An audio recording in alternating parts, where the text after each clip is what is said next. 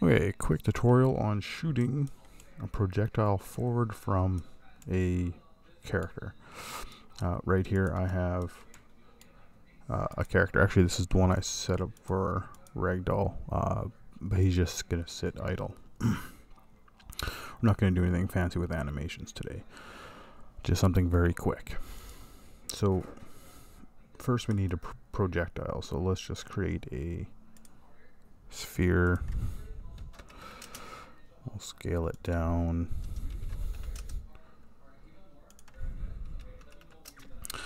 Um, I find easiest for movement is to put the movement on to this projectile itself. So on the projectile, we'll add a FSM. And we're just going to translate. Use owner space self per second every frame. I'll go 20 on the Z.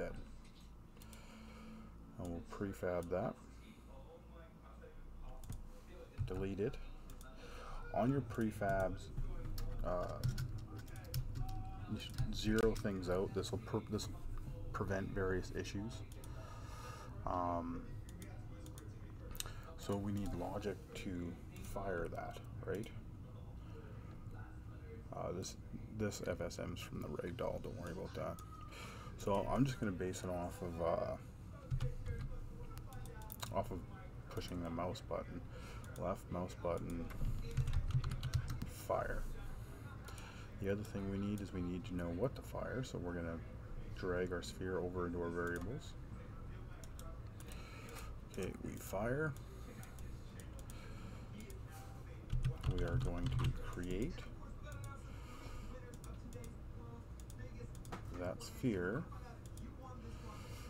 we we have to store that sphere.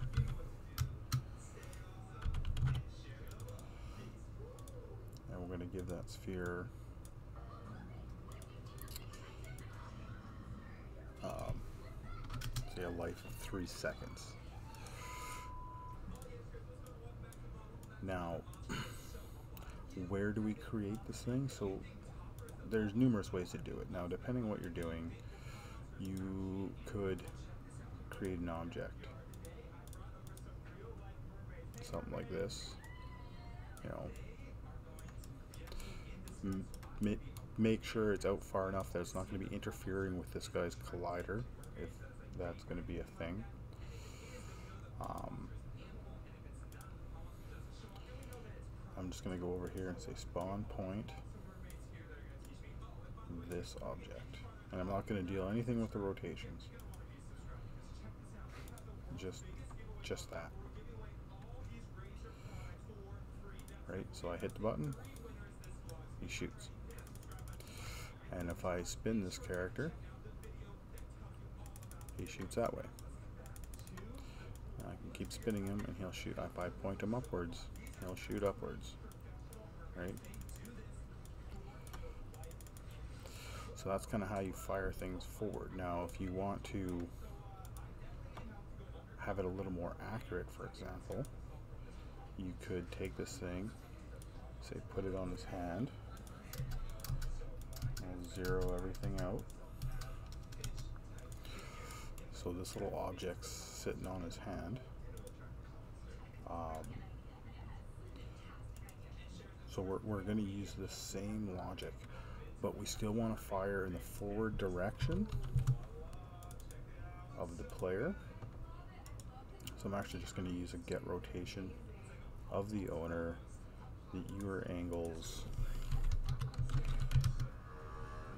uh, world space,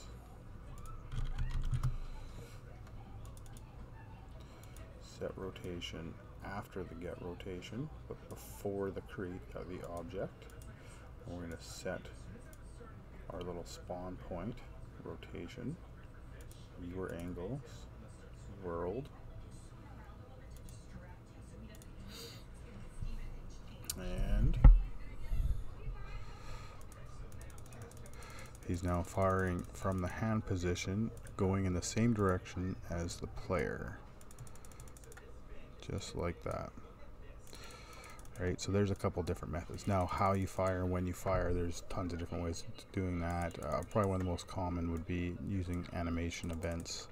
You know, like you're gonna I don't play a wand animation and on a certain animation you want that projectile to fire off. You would most likely want to do an uh, animation event on that. But that's a small tutorial on shooting a projectile forward direction of a character.